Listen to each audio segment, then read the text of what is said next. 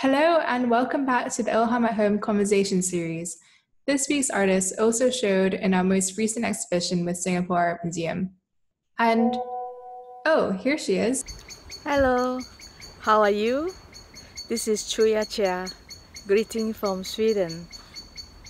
So, how did you come up with the title of your work? So, the, the title, Trace and Memory, doesn't come out until the whole idea was solid. And until I have decided of the two words in the root they're going to form because you have to make a decision and when you, you grow the root with those texts, you have to already have some, something very clear on what you're going to write, uh, which words you are using. Uh, in order, because the whole process was just making the two pieces of the, the root mat, I call it, or pillow, is um, it took uh, at least two months and the same thing to the padding. I have to start coming up with this whole mapping, like a brand mapping. wow. Like this. To list out all the keywords that relate to me inside or visually or bodily experience and start like asking questions and trying to have this kind of arrow mapping of where it's leading to and which one is appealing more and speaking more to me. Eventually, I, I found like traces um, is a is a word that had been quite commonly used for many people. For example, for if you're watching some documentary program when people are tracing after somebody or looking for some missing person, yeah, you or investigating something, you always go by trace. So that therefore, I think trace is a very important word of how you find back your history and the origin. And for example, now there's a pandemic uh, that scientists are still trying to look, trace back and trying to look for the core or the, the origin of the virus. Uh, eventually, your your art, what you're showing and what you're speaking, it have a, a meaning of a process of going tracing back to who you are, where you come from there, there is the reason why that uh, after I had talking and chatting with, with my curator at the time, what it started became like autobiography work because yeah. of all the tracing back in time. And they came from my childhood in Sekinchan. The visual landscape, the the feeling of the air, fresh air, the you know, you can even see the the fireflies and today you probably have to go to Selangor or especially to view them, but they were just everywhere during the childhood. So I, I would say I'm very lucky to have this, such a beautiful childhood that gives me so much that became my inspiration in the later time, especially when I moved here in Sweden. So yeah, then eventually I decided to use the word. I will like choosing like settlement or because when you're moving as an immigrant, from one place to another place, you need always to setting down. You need to have you feel so disorientated and you need to find your location, find your orientation, yeah. and and confirm about your identity and and everything. So when when so I was like, oh, maybe I use the word. Eh, no, it's a uh, it's too boring the word. So so I've been like juggling a little bit, and finally when I decided to use traces space and memory. So it's just like a light bulb. Like that could be the title. Therefore, I mean the word trace and memory because the, the two words is had been the extract from the whole process of the whole making, and then it was the last juice. Therefore, uh, you can relate a piece not to the title to the whole process, to the installation and to the representation of the, the whole uh, installation. Yeah. Because it was the whole process and it was the uh, extraction from from the whole process of the work. Yeah. During your first performance, there was a recording of a little girl singing Bangau oh Bangau. What does this song mean to you? Bangau oh Bangau, kenapa engkau kurus? Macam mana aku tak kurus. Ikan tak nak timbul. Ikan tak nak timbul. And why I, I choose particularly this? Because if you listen like Bangau or Bangau, the word Bangau, the water bird itself, is a bird living in a swamp area, um, and rainforest delta or delta, like near the river, between river and sea. And that is exactly where I came from when I grew up in Sekinchan. And uh, as a child, uh, in the school, we learned the song, and somehow this is a song that from time to time have been inside my head, no matter where I move on. And every time when I talk about land and human relations, or planting or agriculture, this song somehow step in. So it's part of the memory. The, uh, the lyrics is really nice. That is for me from the Bangau, the water bird, eating the fish, and then until the fish eaten by the snake, and then the snake eaten by the the frog, and then and then the frog, and then to the grass, the grass not growing, and then the the why the grass not growing, then why the kerbau, the cow not eating, and now is hungry, you know. So it's the, the it's the whole basic cycle of the whole nature cycle, and then in the end, the human step in. So when I decided that I want to have the childhood song and I tried to sing my song myself, it was so ugly. no, I couldn't stand my song, my, my own voice. If I don't find the child's voice, I will skip that part. And I've been looking, I've even looking at my nieces, like, can you help me? No, it's gonna be like safe for the public. No, no, no, you know. So and just one day before opening, Ilham managed to help me and found um, this little girl to sing for me. I was so happy and, and felt so lucky because without the, the voice, um, I, it may not be matter to the audience because they may not understand with it or not because it's playing so subtly. But it does give me a lot during my performance. It gave me a different memory. Uh, it, it gave me um, a memory that when I act out or when I did the performance during the whole process, this music will recall again of the whole process, replay your childhood once more. That give me more emotion and in that piece and carry out the whole process. So you are not just like okay, planning the plot, planning the action, planning this. No, uh, that sound, that song gives me more um, to enhance my feeling and my emotion and my memory. So it, I, I still love it uh, up to now and maybe now and then. Did you have a set vision for the outcome of your body print on the canvas?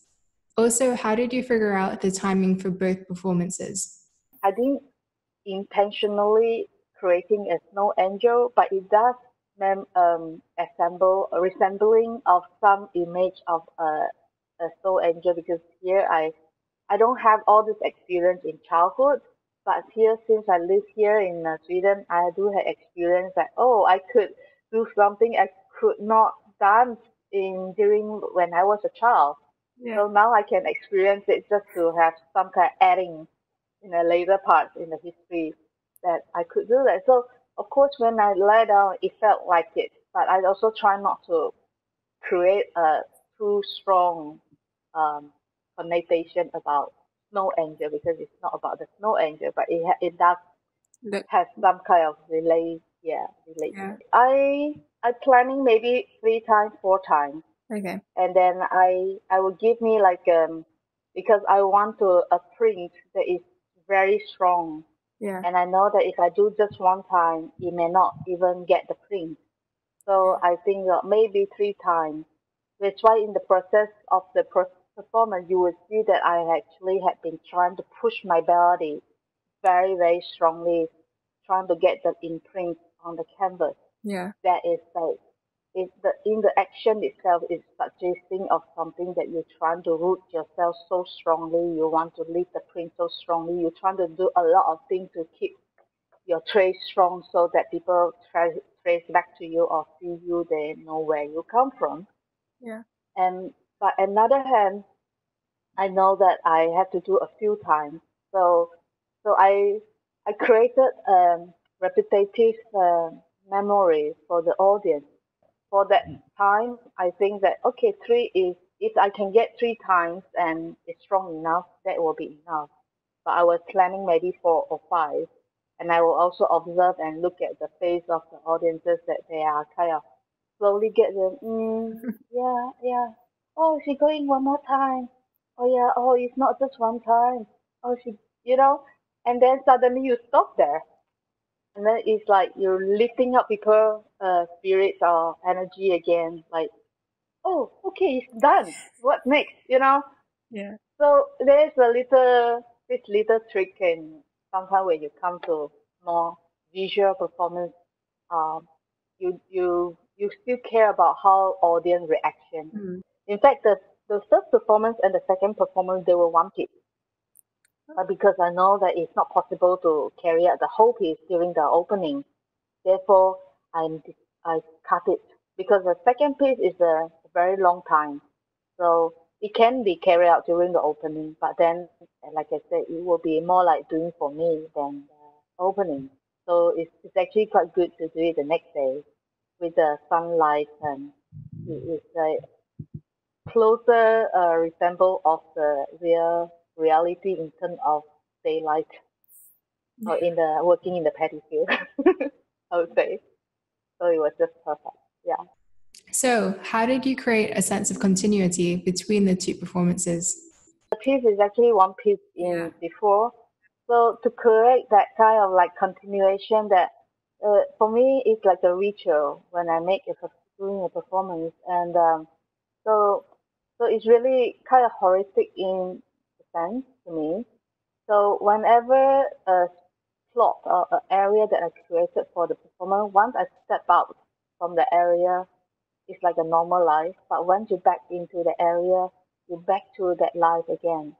That's, therefore, I did not take away the dress outside because the dress is actually had a lot of meaning um, in terms of the feminine as a women role, as a as a dress that's going to stay over as my body left behind. So therefore, I decided to have that piece uh, stay and I come in. So when I leave left that space, that space, that piece had to live within the area. Yeah. So I, I really like it a lot. Um, the next day when I came before performance start and water become clear, it's so beautiful. Like and the print on the dress uh, at some point it looked like a python or snake like living and sleeping within all the petty stuff. Like so much of the beautiful i think you'll see certain part in the video. And you also realize that the prints on the luggage and the prints on the dress is actually the same. And i make those prints actually in the 90s late 90s yeah they were wood cut i actually studied in singapore at the time. And it came across to me of a lot of questions about placement, orientation as my identity and looking into the because I came more like a Chinese uh, family background. So you're also looking at um, immigrant as Chinese uh, overseas uh, and and looking at your past. So I I have been kind of interested in research about this motif that it was a cashmere paisley motif that have a lot of memory also in my childhood. That is the reason why I choose that. So the prints again, that I have been using it in all, all of my paintings in the late 90s. And yes, I use those prints in for the bag and in the dress, Wow. on the dress. Okay. So I make the dress, I, I print the dress, I, I bought the fabric and I print the fabric and I make a dress out of that. fabric. So you brought you literally brought that luggage bag on the plane with you, then. Yeah, actually, the la- that luggage was uh, carried uh, with me together with the two pillow grass Yeah. mat with me as an extra luggage. And uh, to Malaysia, the prints on the luggage was like I stick on, and then I repaint, hand painting. I didn't finish until that day before. So even I was staying in the hotel uh, at night, when I go back to the hotel, I continue painting the luggage. so everything was actually designed um, through this piece, every component. And why did you choose to incorporate these physical relics into your work? So for this piece, um, I understand that it's, um, it's going to be like exhibition format. And so when I invited to do the performance in the opening, I had to have every plan to be putting and have something left behind for it. The audience can come back. And I actually like a lot of this performance installation because I, I know that performance art from the beginning was atmospheric where people come see live and they keep that memory and uh, bodily experience carry with them and there's nothing left in that space and whoever passed by that space who had a strong connection to that space or the place they they might keep in in very privately or very individually to themselves yeah. uh, that you can revisit a place and recall something happening by them uh, but then by creating an installation that has left behind from um, performance work is kind of at a certain time frame the setting is remained so that it prolongs the experience for people who revisiting or visiting the place who can still view the work by connecting the documentation.